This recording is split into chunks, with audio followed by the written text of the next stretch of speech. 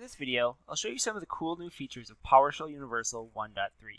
PowerShell Universal is the ultimate platform for building web-based IT tools. We've added features to pretty much every one of our components in this release. So we're going to look at things like APIs, automation, dashboards, and uh, some platform changes. So let's get started with APIs. APIs allow you to create uh, pretty much API endpoints that call PowerShell scripts. So the idea is that we can have a URL and a particular HTTP method, and then from there we can actually call those HTTP methods from pretty much any system to call our PowerShell scripts. So uh, the first thing that we've added is we've added some new variables that you can use inside your APIs. Uh, you now have access to headers um, that are provided by the HTTP request, as well as the URL that was called um, when making that HTTP request. So for example, if I wanted to see those variables, what I could do is I could execute invoke uh, REST method and uh, execute my um, localhost variables endpoint. And then from there, you can see on the bottom here, I have the URLs and headers that were actually or passed in with that HTTP request. Additionally, uh, we have added um, support for sending binary data. So previously, you could only access data that had been um, decoded as a string um, but now you can actually um, send in binary data. So for example here, uh, if you use the data variable, you'll have access to that uh, byte array. And that byte array you could then use to do something like this, where you actually write out a file um, based on that byte array. So our data endpoint here uh, accepts the post method, and what we can do now is we could actually read a particular file. So in this case, I'm going to be reading this whiteclouds.jpg file, store that in a data variable, and then I'm going to post that content up to my uh, data endpoint via uh, invoke web request. So let's go ahead and do that. Uh, and you can see we got a 200. Everything looks good. And if we actually go to our source directory here, you'll see that my test.jpg file is written because I actually uh, uploaded that, and then it called this PowerShell script to write the bytes down to test.jpg. Um, additionally, we've added support for custom responses. So uh, previously, you could pretty much return a string, and you didn't really have any control over uh, the content type or the status code or anything like that. But now you do. So you can use the new PSU API response cmdlet inside uh, your API endpoints and what this will actually do is it'll allow you to do things like uh, send binary data if you want to uh, send a file down, uh, as well as set things like uh, the content type header. Um, you can also set status codes if you'd like to return things like um, 404s or 401s, that kind of thing. So if we actually copy this URL and paste that into our uh, our web browser here, you can see that it hit the response API endpoint and it returned that image as a binary uh, pretty much a byte array, and then since it set the content type to image slash JPEG, it actually displays that JPEG inside the web browser. Um, in addition to uh, API features, we've actually added some automation features as well. So the the big feature that we added for automation was that we added the ability to specify parameters for your schedules. So if you have a script uh, for example, I have this get process script that uh, accepts a name parameter. If I click run here, you'll see that I have this name parameter that I can type in. And for example, if I wanted to, you know, run something like pwsh, uh, it will actually go out and find all the pwsh processes. Uh, what we did was we actually added a, a new set of options inside our scheduling dialog here that allows you to actually specify the name parameter for your schedule. So for example, if I wanted to check uh, for PWSH on a schedule, I could do that using uh, this uh, dialog here. And then um, you can create those schedules, and what you'll see is I have some jobs running with uh, two different two different uh, parameters for those. So one's checking for Notepad. You can see that I don't have any Notepads, uh, while the other one is checking for PowerShell. Um, and you can see I had one PowerShell instance running. So it kind of allows you to use the same script for multiple schedules, and in that way, um, you don't have to create multiple scripts for uh, things that vary between um, different scheduling times. So if you had a schedule that ran, you know, hourly, weekly, uh, monthly and it was the same script, but just a couple things changed, you could actually set those parameters um, and adjust the schedules based on that. Um, we've also made a lot of changes to uh, our dashboard features. So uh, first of all, uh, we've actually brought the dashboard frameworks out of beta. So we have the Universal Dashboard 2.9 framework, which is based on the Materialize uh, JavaScript framework. And we have the Universal Dashboard 3.0 framework, uh, which is based on Material UI. So um, you can use either of those frameworks, and we've pulled them out of the beta because we think they're good enough for production use.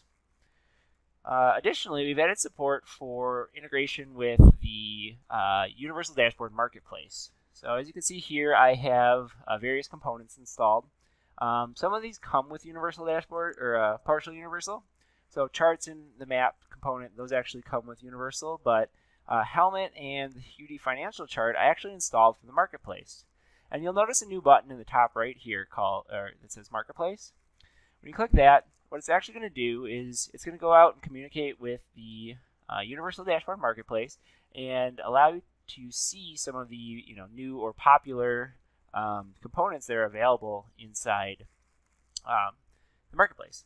So you can see here there's some uh, cool components like the financial charts that I installed. Uh, if you want, you can click View. It'll actually take you over to the Universal Dashboard Marketplace where you can learn a little bit more about these components, um, see some examples of how to install those components. Additionally, you can click this Install button and it'll actually call Save Module and save them into uh, the Components folder, which by default is stored uh, here. So once you save those components, they're actually available to all your dashboards. And if we go over to our dashboard uh, page, and then we click um, Info here, you'll be able to see that I have um, a Components tab, where this lists all the components that are currently available to my dashboard. So for example, if I wanted to remove a component, I could do that, and now it won't load that module uh, when the dashboard is started. But if I wanted to add a new component, I could select the components by clicking that Components button. And from there, you can select the components that you want uh, to enable for this dashboard, and then click the Add button. Those components will be automatically imported into your dashboard, so you don't have to worry about calling import module to bring those components in.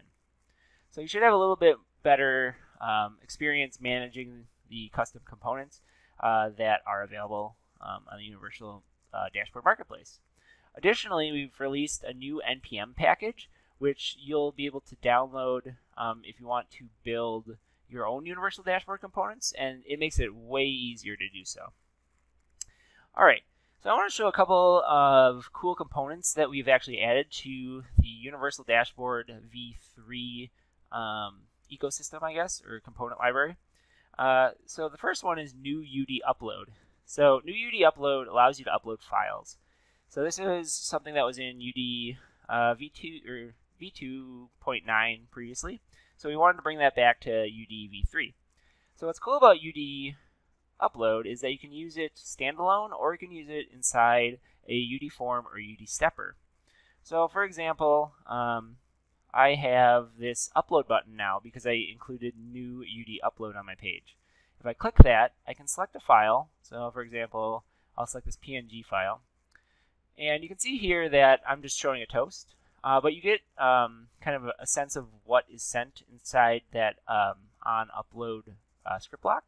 You'll get the name of the file that was uploaded, uh, the content type in the type parameter, as well as a base64 encoded um, data string that you can then use to uh, process the file. So um, that's pretty cool, and you can use that inside steppers and as well as UD form. So speaking of steppers, we've also um, implemented a new feature inside the stepper control that allows you to validate uh, the steps as the user is moving through them. Uh, the body uh, is a, a, JSON string that then you can use to kind of get the context of the stepper. It'll provide you information such as the current step, and then any um, kind of form fields that you've added inside the step will also be uh, included inside uh, that context. So in my example here, what I'm doing is I'm checking to see if we're on the first step, and if we're validating that first step, I want to check and see what text step 1's uh, value is. And you can see here on my first step, I have a text box, and it's named text step 1. So this uh, like property of this hash table right here will actually include whatever the user entered inside text step one. So then from there, I can actually go ahead and validate whether or not this step was valid. So we have the new UD validation result to pretty much indicate to uh, the stepper whether or not this step is valid and it should continue. So if it's equal to bad, then we want to return a new validation result that is not valid. But if it isn't bad, then we want to return valid. So if I go over to my stepper and if I type bad, you'll see that the stepper goes red and the form is invalid. Um, if I were to say good and click next, you can see that it moves on to step two, and I'm just outputting the previous steps data. So you can kind of use that step data in um, your additional steps. Um, so those are some of the changes that we've made to dashboards. Uh, one big feature too that we've added that was part of Universal Dashboard 2.9 um, was the ability to use published folders. So the idea of the published folder is just that you can map a local folder to a request path, and then any files inside that folder you can then um, access via your web browser. So, for example, I'm mapping uh, C slash source to my images request path. So, if I were to go images slash whiteclouds.jpg, that's a file that I have in that folder, it'll serve that folder and it's the same uh, image that I showed before. Um, so you can pretty much serve up any file you'd like. There are some mappings for some content types, so it'll actually uh, specify the right content type if it realizes what it is. Um, and one thing that we've added that was not available in Universal Dashboard was the ability to actually use authentication with your published folders. So I can specify a path, I can turn on authentication, and I could even select a role um, that you have to be a part of to access those files inside the published folders. Um, so that's great for like hosting images for your um, dashboards or other files that you may be saving that people could download. Um, finally, I want to talk about uh, one change we've made to security for um, the platform. And uh, in the roles dialog now, inside our security tab here, you'll see that we have the ability to add roles. So I have a custom role at the bottom here, which is API user, who uh, has access to the API, is the description that I put. Um, but you can actually add your own roles um, with a name and description uh, as well. So that allows you to use those roles um, in things like published folders. You may have noticed that when I was selecting the role here, my API user shows up. Um, additionally, in things like APIs, uh, you'll also have that API user role show up. The dashboard um, will actually provide a roles variable. So if you have things that you want to show or hide on your um, dashboard, this roles variable will be a array of strings of the roles that the current user that logged in is, uh, has. So if you have a custom role that you've defined, that will be in that list as well. Um, and just like any other role, you can actually go in and click edit on this role and define that role policy. So you could check um, Azure AD groups or Active Directory groups, that kind of thing, um, to determine uh, who gets this role. So that's kind of an overview of uh, the features that we've added in uh, PowerShell Universal 1.3. You can download PowerShell Universal 1.3 from Ironman Software's download page, and um, uh, it's free to try, so give it a shot um, after this.